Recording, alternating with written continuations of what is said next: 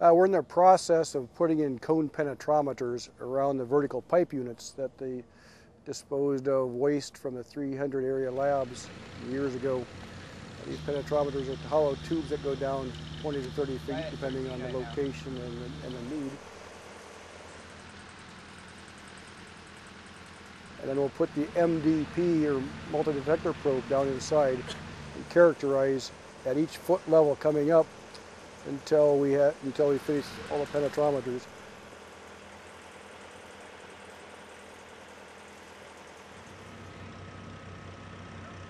There's about 500 penetrometers going down. And the characterization should show us both the radiological intensity as well as, as the isotopes that are causing it so that WCH in the future can decide what they want to do in the way of remediation.